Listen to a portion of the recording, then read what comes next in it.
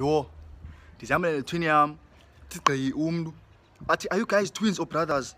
ndithi all of the above athi yhu awandiphoxa sana ngathi okay ke none of the above athi yho awuserudi yho heyi bohlala bethetha abantu mani